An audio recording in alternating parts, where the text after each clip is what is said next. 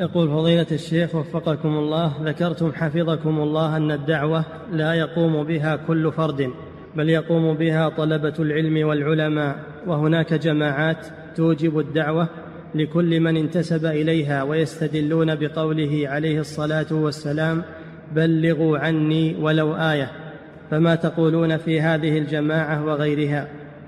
نقول الدعوة بلا علم غلط مخالف لقوله تعالى ادع إلى سبيل ربك بالحكمة والموعظة الحسنة وجادلهم بالتي هي أحسن. ومن الذي يستطيع هذه المراتب إلا العلماء؟ العام ما ما يعرفها. وأيضا قوله تعالى أدعو إلى الله على بصيرة أنا ومن اتبعني ما هي البصيرة؟ العلم. لا بد من العلم. وأما قوله بلغوا عني ولو آية التبليغ على قسمين كما ذكر العلماء. تبليغ النصوص وتبليغ المعاني.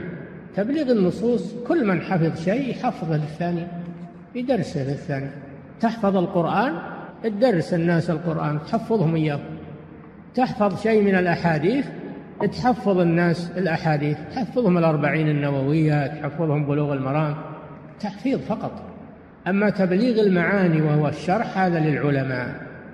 هذا ليس للعوام. أو الحفاظ فقط وإنما هو للعلماء والفقهاء.